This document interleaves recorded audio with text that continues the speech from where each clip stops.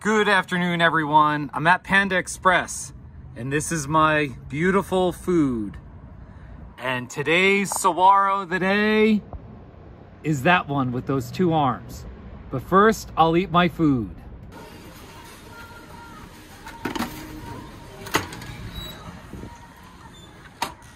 I finished my lunch. Now let's get to the business of finding a saguaro. And I already picked this one right here. I'm gonna name it Sweet Fire in honor of Sweet Fire, the Sweet Fire chicken that I had. here, I gotta get over this little hump here. I'll name it Sweet Fire Pauline in honor of the Sweet Fire chicken breast. And I did have Beijing beef with that as well.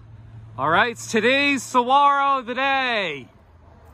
Sweet Fire Pauline. Beautiful blue sky.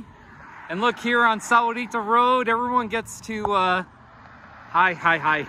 Everybody gets to see Sweet Fire Pauline right here in front of the Panda Express.